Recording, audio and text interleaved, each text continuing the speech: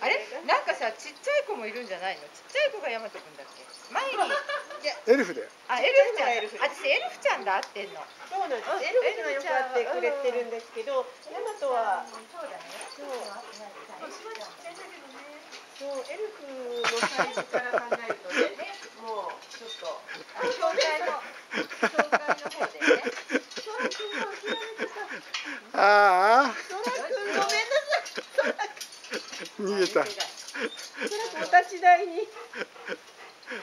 ソラ君お立ち台。えー、こんにちは。え俺には来ないの？にソラ君お立ち台。